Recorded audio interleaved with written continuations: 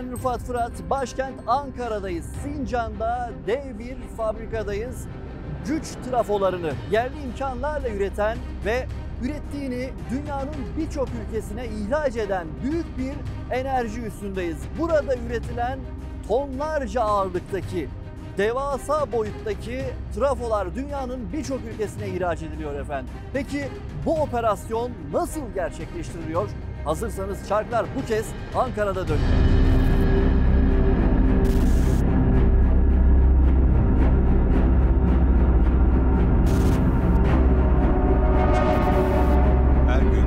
Tonlarca ağırlıkta ve devasa boyutlarda transformatörler üretiyorlar.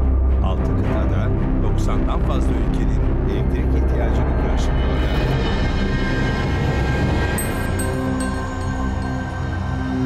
Ankara'da bulunan Astor fabrikasında üretilen yüksek gerilimli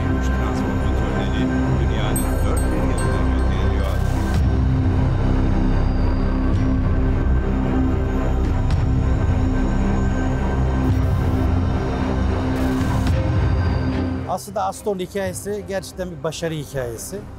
Ee, 1983 yılında kurulan bir firma. Daha sonra mevcut e, ortakları ve sahibi tarafından 2010 e, 2005 yılında satın alınmış.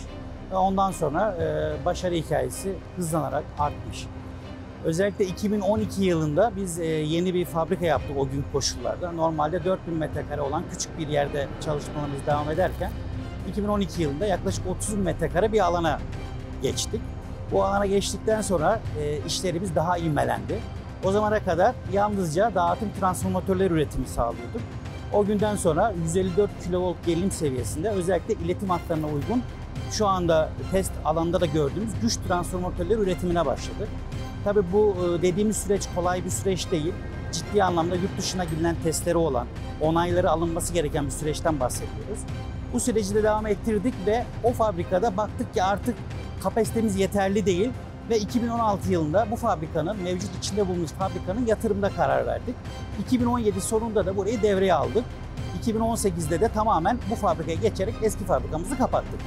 Bu süreçte de yaptığımız yatırımlar ve hedeflerimiz doğrultusunda da 2016 yılında bir ARGE merkezi bir büyüme stratejisi diye bir strateji belirledik. Ve özellikle her yeni ürünümüzü öncelikle ARGE'de daha sonra üretim altyapısında da üretime aktararak bu yolda devam ettik. Ve 2016 yılından sonra 2020 yılında baktık ki bu fabrika büyüdü, devam etti. Yeni bir fabrikaya ihtiyacımız doğdu. Bu fabrikada mekanik fabrika adı altında bir fabrika daha yine bu parselin bir üst parselinde bir fabrikaya daha inşa ettik. Ve böylece artık mekanikli ürünleri de dışarıdan aldığımız ürünleri de kendi içimizde yapmaya başladık. E, biliyorsunuz son bir yılda da, bir buçuk yılda da e, borsa sürecimiz başladı. Ondan sonra daha bir ivmelenerek bu süreçlerimiz devam etti ve yeni bir yatırım kararı aldık. Yine bu organize sanayi bölgesinde e, mevcutun yaklaşık 3 katı büyüklüğünde 250 bin dönüm, 230 dönüm civarında bir arsayı e, OSB'den alarak buradaki proje çalışmalarını bitirdik ve faz 1 dediğimiz yaklaşık 100 bin metrekare kapalı alanda bir fabrika inşaatına da başladık. Dolayısıyla Astor hem ürün çeşitlerini arttırmak hem mevcut ürünlerin kapasitesini arttırarak yolunda devam ediyor. Örneğin şu an bulunduğumuz alan 800 kilovolt 1000 mVA gücüne kadar transformatörleri, güç transformatörlerini test edebilir durumda. Test etmekin yanı sırasında aynı zamanda burası akredite bir laboratuvar. Dolayısıyla bu laboratuvarda yaptığımız bütün testler dünyanın her yerinde kabul gören testler. Dolayısıyla bu test laboratuvarı sayesinde ki içinde bulunduğumuz alan Türkiye'nin en büyük laboratuvarıdır. Bu kapasiteyle de ürünlerimizi daha fazla hem yurt içi hem yurt dışına satmaya ve üretmeye devam ediyoruz.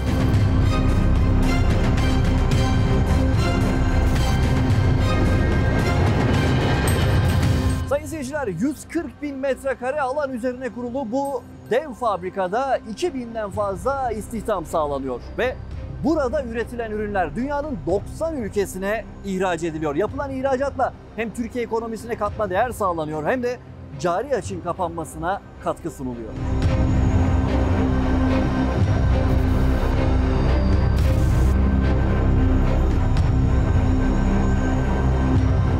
Tabii ülkemizin cari açığını kapatmak hepimizin hedefi. Burada Astor'un mevcut e, ürünleriyle bu hedefe çok ciddi katkı sağlıyor. İki türlü cari açık kapatır. Bir, yurt dışından alınan ürünleri siz eğer burada üretirseniz cari açık kapatmış olursunuz. Mesela en son e, bir örnek olarak İsken firmasına satmış olduğumuz güç transformatörü. Eğer biz bu trafoyu veya Türkiye'de bir üretici bu trafoyu üretmeseydi yaklaşık 5 milyon dolar, şimdi ikincisi de aldık, 10 milyon dolarlık bir maliyet, yaklaşık olarak söylüyorum bunları, yurt dışından alınmış olacak.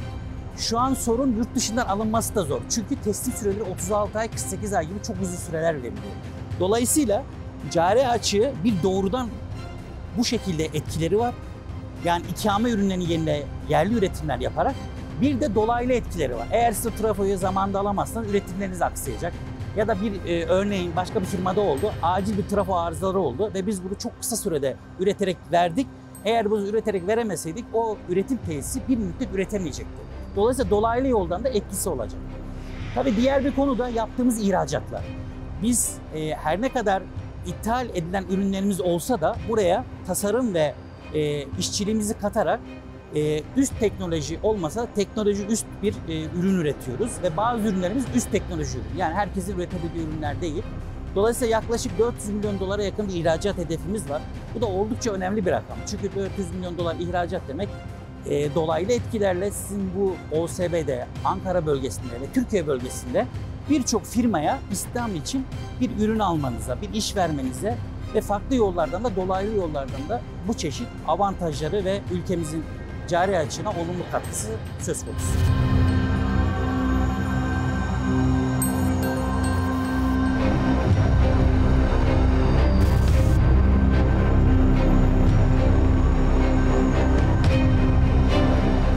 ...90 ülkenin üzerindeyiz şu an. Ee, genellikle ağırlıklı olarak bizim tabii ilk baştaki en büyük e, alanlarımızda birisi Irak pazarıydı. Irak pazarında çok ciddi ivme kazandık.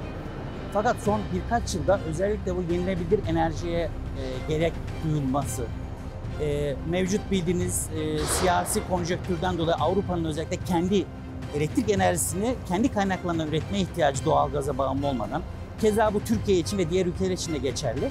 Şu an ilk 10 ihracat ülkemizde Avrupa'dan 9 tane ülke var.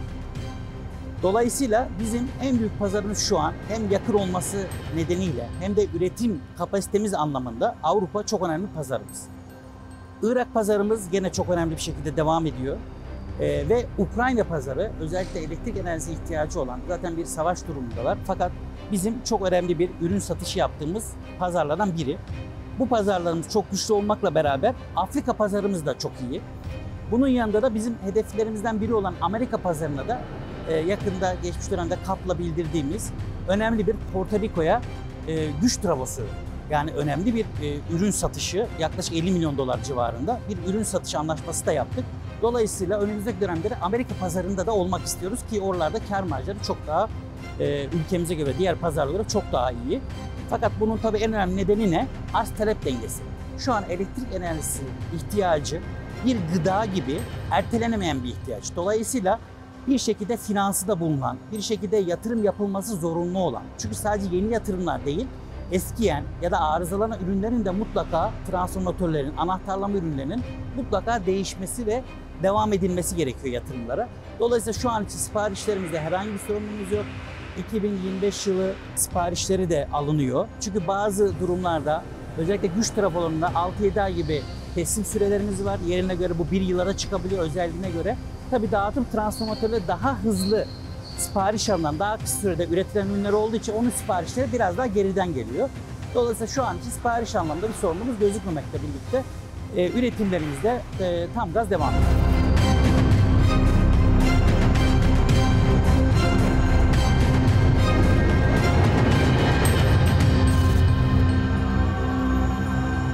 Şarkılar dönüyor bu hafta Ankara'daydık ve devasa boyutta güç trafoları üreten dev bir fabrikadaydık efendim. Ve burada o mega trafoların nasıl üretildiğine yakından şahitlik ettik. Önümüzdeki haftalarda farklı bir şehirde, farklı konu ve konuklarla karşınızda olmaya devam edeceğiz. Hoşçakalın.